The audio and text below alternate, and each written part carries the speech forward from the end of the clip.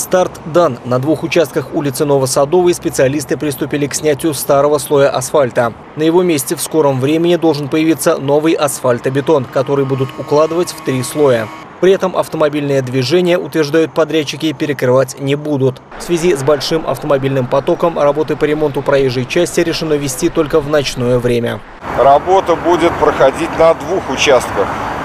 От оврага подпольщиков до Советской армии и от Аменева до проспекта Кирова. Согласно проекту капитального ремонта улицы Новосадовой на участке от Советской армии до проспекта Кирова будет расширена проезжая часть, а также, чтобы решить проблему заторов, возле кинотеатра «Современник» появится кольцевая развязка. В направлении из города сформировать 5 полос движения. Э, крайние полосы будут предназначены, соответственно, для поворотов на улицу Советской армии и три полосы прямо из города.